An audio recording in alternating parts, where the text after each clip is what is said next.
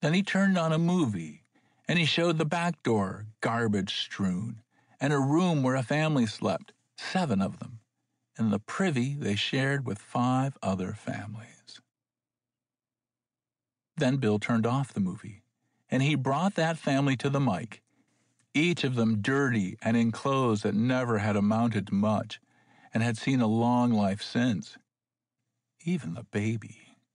One kid's shoes had a sole flapping off. Another had the toes cut out so he could wear them, even though he had long outgrown them. We haven't added to what we found, Bill said.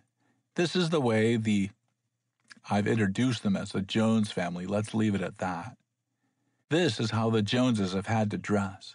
This is how they've had to live. This is a very real part of America, he said, and his voice was choking a little. And Randolph thought, if he's putting that on, he's the best actor I've seen yet. Randolph found himself glad he was alone and didn't have to speak himself. His own throat felt choked. And now, said Bill to his audience, it's time for the witches. The camera shifted, and there was a papier mache model of the buildings, built so you could look in the curtainless windows and see the squalor, lighted with a single bulb on a string. There was a gray pall over the whole thing, and newspapers and trash blowing against the front of the building.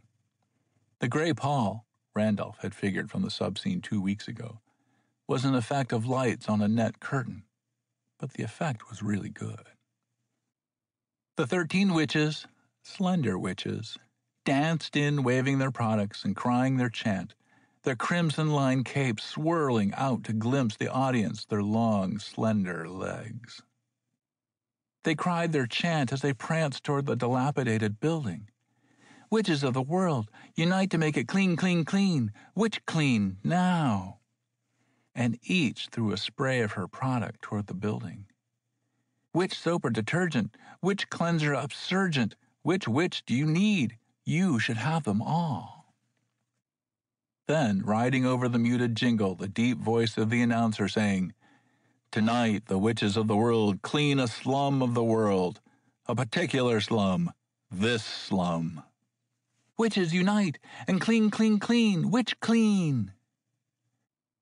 The dancing witches now threw each her ingredient on the building itself, and the gray pall began to lighten. A bright, new painted front shone forth. Inside, the single bulbs blacked out for an instant, and then a soft light showed through curtained windows, a bright new scene dimly apparent through the curtains.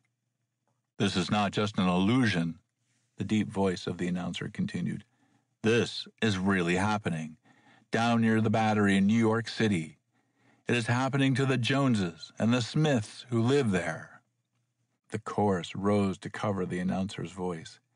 Clean, clean, clean, witch clean! The commercial and the witches faded, and Bill Howard's big, homely face came back on the screen. Let me introduce you again to the Jones family, Bill said. I'll introduce you to the Joneses, but they're just one of the families who will now have a decent place to live. And the same miracle has happened to each of these families. Now the Joneses came again on camera, clean, in new clothes, hair brushed, a miracle indeed of the costume changer's speedy art. Randolph assumed that teams of BDD&O members had been at work during the commercial, creating the miracle. From the baby up and down, they shone, and their faces shone with an inner light. When Randolph shut off the TV that night, he was chewing his lip violently. Must have been more than double that $50,000, he thought. He reminded himself to phone BDD&O first thing in the morning. It was still an hour before noon when Randolph's phone rang. Randolph here, he said in the formality he adopted on an English visit and carefully kept. Good morning. Oswald's voice was formal. Good morning. There was a silence while Randolph waited for the other to continue. Finally, Randolph said, Good show, that. Must have cost a lot more than my price, he added. It was good, though, he said again, thoughtfully. Randolph, Oswald's voice sounded wild. I don't know what the thing cost. I don't know. Now, sir, just what do you mean you don't know the cost? I told you to spend $50,000, and from what I saw last night, it'll cost four times that. I'll go as high as $125,000, but not one cent over. And you'd better make it worth the money, for that's a pretty penny, he said. Look, Randolph, the cleanup job down there was supposed to start this morning. Contracts let, big crews ready to do the job fast so people could go look at the finished product. Every family was signed up to act as guides, like in Williamsburg. We moved them all to the country yesterday so they'd look healthy when they came back and the job could start at the crack of dawn today. Well, well, the job's already done. That's pretty fast. You said you started it this morning. Yeah, and when my man phoned me from down there, I told him to get black coffee and sober up. But I went down myself, and the job's done. Exactly the job we specified, too. Done by our plans. Furnished, painted, paint dry, curtains hung, the works. New bathrooms and kitchen and plumbing and electricity, the works. It's finished. My best man was down there moving the families out yesterday. He swears the building hadn't been touched then. The contractor says he's going to sue because he arrived with his crews to start the job and somebody else had done it. You come on. You've got to meet me here and tell me the answers. Just what did you put in that soap of yours, anyhow? By afternoon, it was banners in every paper, wire serviced across the nation and the world. Most of the stories were written tongue in cheek about the miracle part. It was assumed that witch products had done the inside job in advance and thrown in the outside cleanup during the night. The tenants were interviewed. Oswald had the sense to move them right back into their new apartments, and not one of them could be made to break down and admit those buildings hadn't been slums yesterday. Well, you couldn't blame them for sticking by Witch. Look what Witch had done for them was the word that went around Bleaks. Of course, the thing was a curiosity natural, and the police had so many men assigned there by nightfall it looked like a concentration camp. TV portables and news photographers' flashbulbs didn't lessen the confusion any, and the crowds were being let in and through only when there was room for more. Bill Howard was there when Randolph went through, in earnest conversation with a group of youngsters in one room. Oswald arranged that the witch manufacturer should have a strong police escort, and the crowds moved back to make way for him in each apartment. The tenants answered his questions but they did so with a sullenness that surprised Randolph. Yes, it had been a mess the day before. Yes, it had been rebuilt obviously during the night while they were gone. Yes, just the one night. They should be saying thank you, Randolph noted to Oswald. They're acting as though I were a suspicious character. It's our escort, Oswald explained suavely. These people don't think of cops as their friends. Besides, this is pretty new to them. Randolph chewed his lip and decided that Oswald was probably right. But the attitude was general, and it irritated him. He left after the briefest go through. That night, Bill Howard was conservative in recounting the big news story of the slum clearance. He wasn't giving it the real Howard try, Randolph thought sitting in front of his TV. There was the quote in the story he told, too, from the father of the Jones family that had been on the program the night before. I reckon it's pretty wonderful, Mr. Howard, Jones had told him, but I don't rightly know that I like it. Must admit, I'm scared of this stuff, he had said, and waved his hand at the newness. It was just a single sour note in the story, but it stuck out. The rest was a description without any mention of the miracle part. At the break, the witches played the credit line to the hilt, though. Witches of the world, unite to make it clean, clean, clean! Witch clean, now! They chanted their cry and reenacted the scene of the night before while the announcer's voice rode over the muted jingle to explain that Witch products had been used to make the slum clean, clean, witch clean. even though it took carpenters and builders and contractors to remodel a slum building itself. That's better, thought Randolph, watching. No more of this miracle nonsense. It was barely 10 a.m. next morning when Randolph's phone rang. Randolph here, he said, and heard Oswald's voice without preliminary. They've gone. Who's gone? The tenants of the building. Just picked up their duds and left. I put Dix on the case, and one family has moved in with relatives in the Bronx. The others scattered, but we'll trace them. Here's one of the policemen that was on duty when they left. He'll tell you. A new voice came on the phone as Randolph chewed his lip. Mr. Randolph, this is what happened, near as I can figure. We roped off the area at dark last night. Figured we'd give the family some rest and keep out the night thrill guys. Everyone in the apartments must have gotten together after we cleared out the crowds. It was pretty quiet, but the lights stayed on till about 2 a.m. Then they all started parading out, some even wearing their old clothes. They were carrying a few things, but nothing that looked like they hadn't had it before the change, so we figured what they were taking was theirs, probably. Didn't say a word, just paraded past us. Some of the kids was crying, but otherwise they were quiet. Then one man comes running back to me and he said, Get out of here. It's the devil's work. Get away from this place if you're a God fearing man. Then he turned and ran toward the subway with the rest. I couldn't figure we had any orders to stop him, so we didn't try. We just watched. Oswald came back on the phone. Can you keep it out of the papers? Randolph asked. It's already on every newscast, and the papers will have it by noon. It's on the wires, Oswald said. Randolph coughed nervously, but Oswald didn't wait for him to speak.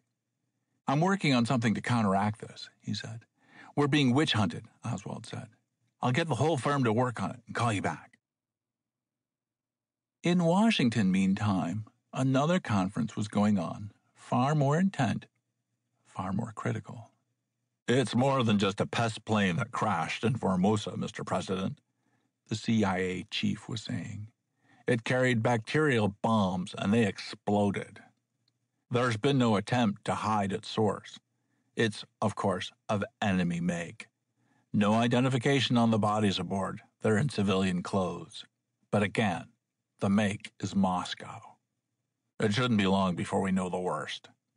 Will they clean this one up as they did the last one, or will they demand surrender terms on this one? the president asked.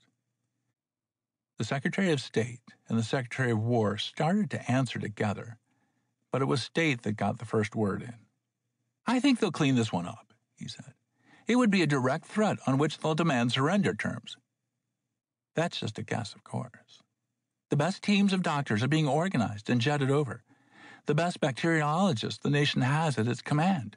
Every antibiotic available is being sent. Will that make a dent? No.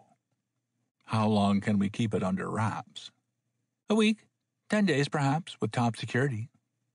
Give it everything you've got. But keep it quiet till we know what the next move is. 24 hour alert, of course, immediately. Even if the alert itself endangers the security wraps? Yes. A week to 10 days of security isn't enough to pay for taking a chance the other way. By 4 p.m., Oswald was on the phone to Randolph. We've got the antidote, he said jubilantly. Randolph was quiet for a minute, chewing his lip. Then, I'm being vilified in the press as the creator of a hoax that even those who stood to benefit by it couldn't take, he said. The few who have decided that a real miracle occurred have also decided that I'm in league with the devil and that witches are for burning mostly Witch is the butt of every joke that can be dreamed up by every cub reporter in the nation. Saxton has started laying the groundwork for making Witch a political issue. There's talk of an FCC investigation. I trust, he said formally, that your antidote is an efficient one. Oswald's voice sounded smug and not at all disgruntled. Try this on for size, he said. First, Witch is known far and wide as nothing less could have made it known. Yes, and if the churches ban the use of witch, we'll wish we weren't. Okay, okay. Tonight we explain carefully that the miracle was a miracle of cleanliness, and that carpenters and contractors and all that did the miracle. You know, American technology and mass production and operation, something to be proud of. Tie Witch right into the whole picture of the United States as the leader of mechanical, stress mechanical, miracles. Then, what's the most appealing thing in the world? He didn't wait for an answer. A child, a small crippled child for whom Witch can provide the funds to make her walk. Oswald hurried on, knowing that Randolph had to go through a bit of lip chewing before he could interrupt, and taking advantage of the fact to ride over objections. We've got a kid that an expensive operation will save from being a cripple. I've consulted two top surgeons already, and they say it's nearly positive. We don't do any hocus pocus. We just say that Witch is going to pay for the operation. She leaves the broadcast and goes straight to the hospital. We get a movie of the operation, and we do movies on her convalescence, and we play it for weeks until she walks on stage cured. Weeks later. Now Oswald waited. It was a long wait, an unusually long wait, even for Randolph. Finally, he said, All right, but if anything unusual occurs, you will answer for it in court. Nothing unusual could occur. I admit I still don't know what happened last time, but we'll find out. Meanwhile, we'll take a week to build this one up, Oswald continued. The build-up will stress that this is a cure being bought by money. No miracle, except the miracle of American medical know-how. No miracles meantime. Just keep Witch clean and stay well, and Witch buys the operation the kid needs. She's pretty, too, he added as an afterthought. Ten years old. That night, Bill Howard leaned across the desk toward the TV audience, and tiny droplets of sweat stood on his forehead. His voice was calm, though. A big map of New York City hung on the wall behind him. The big news that night was a dope raid. He described the dope traffic in the nation, the efforts of the FBI and every law enforcement body in the country to track it down, clean it out. He described what it did to the young who got caught and were slaves for life, unless they could be cured. And he spoke of the meagerness of the cures that were known. Then he described the raid. He took a pointer from his desk and he outlined how the raid had been staged and he pointed out the location of the building where it had occurred. Then he followed with his pointer the route to the precinct jail where the victims were being held. Cannot our best researchers find a cure for this addiction? He asked in his husky voice. Cannot our best law enforcement agencies find the real perpetrators of these crimes? The perpetrators are the fiends who import dope and create addicts to peddle it for them. These who are confined are the victims. If no way can be found to cure them, they must be confined again and again and again, for that addiction will force them to ever increasing crime to satisfy it. If no way can be found to cure them, these are potential slaves for life. As he ended, the station break came, and the camera shifted to the witches, dancing on stage, crying their chant. Witches of the world, unite to make it clean, clean, clean. Witch clean, now. Witch soap or detergent. Witch cleanser upsurgent. The announcer's voice, when it came in over the muted jingle, explained the miracle of the slum clearance again, a miracle of American technology. Then he outlined the next miracle the Witch Corporation would promote. This, he said, would be a miracle of American medical know how which would pay for the expensive operation needed to make a little girl walk again after a crippling disease several years before. Bone would be grafted, new muscles would be grafted. American medical know how in its full extent would be put at her service. Keep healthy by keeping clean with Witch, the announcer suggested. Witch would pay for the expensive operation to undo the effects of one disease.